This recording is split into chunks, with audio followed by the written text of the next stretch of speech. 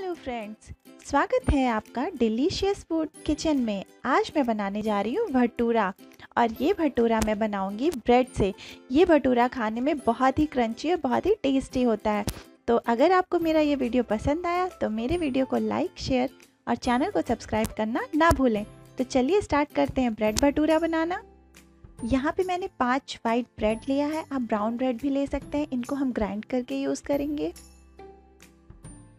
Measure करने के लिए मैं यहाँ पे एक कटोरी यूज़ कर रही हूँ तो एक कटोरी मैदा लिया है मैंने, आधा कटोरी सूजी ले रही हूँ और सेम कटोरी से एक कटोरी दही लिया है मैंने। ये तीनों मैंने सेम कटोरी से मेजर किया है।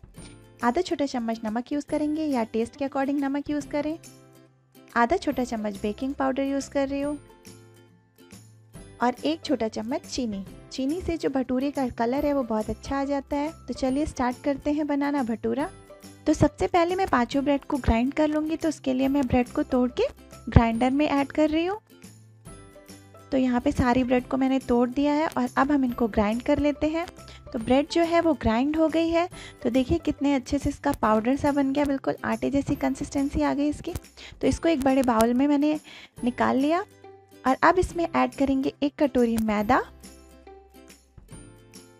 आधा कटोरी सूजी आधा छोटा चम्मच बेकिंग पाउडर, एक छोटा चम्मच चीनी। तो जो सारे ड्राई इंग्रेडिएंट्स हैं, उनको मैंने डाल दिया और यहाँ पे ऐड करेंगे आधा छोटा चम्मच नमक या फिर नमक आप अपने टेस्ट के अकॉर्डिंग घटा बढ़ा सकते हैं।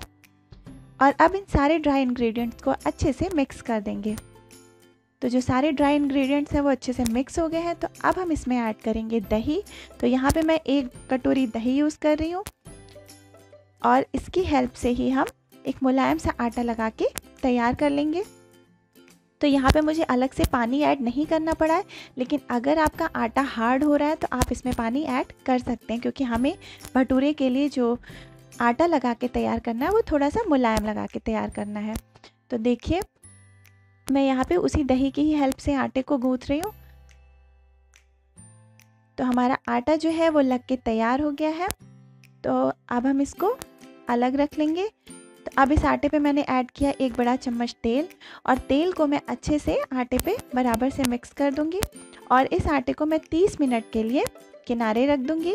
कपड़े से ढक के 30 मिनट के लिए किनारे रख दूँगी।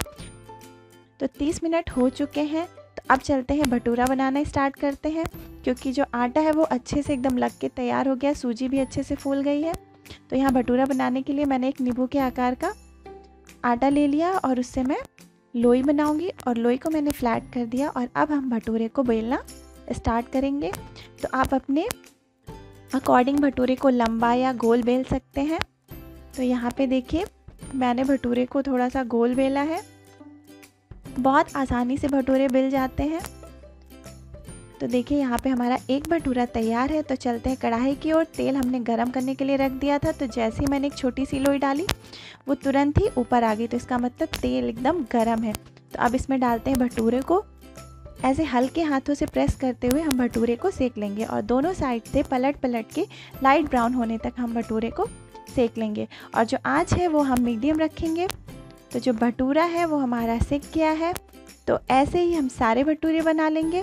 तो इन भटूरों को हम गर्मा गर्म छोले के साथ सर्व करेंगे। तो ये भटूरे थोड़े से ऑयली होते हैं।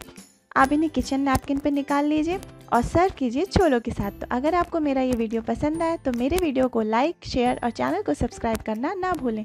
Thanks for watching